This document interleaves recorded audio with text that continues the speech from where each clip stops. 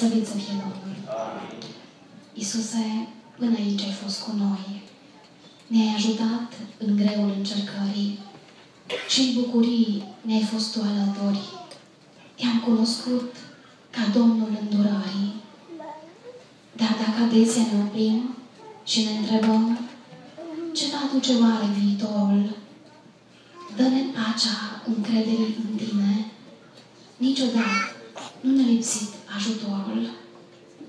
Chiar dacă nu am fost vrednici de el, tu nu mi-ai lepădat, nu ți-ai întors fața, ci ai lăsat ani, ani de îndurare, har după har, păstrându-ne viața.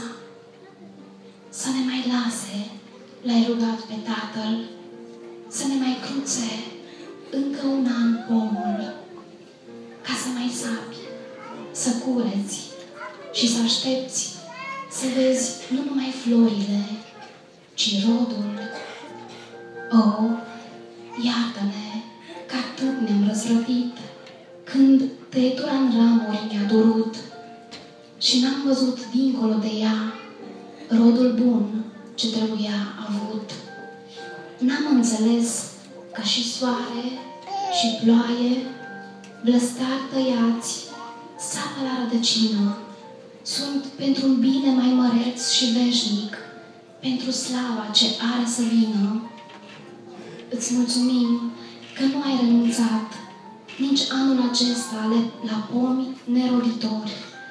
Ai amânat dreptatea de a fi tăiați încă un an.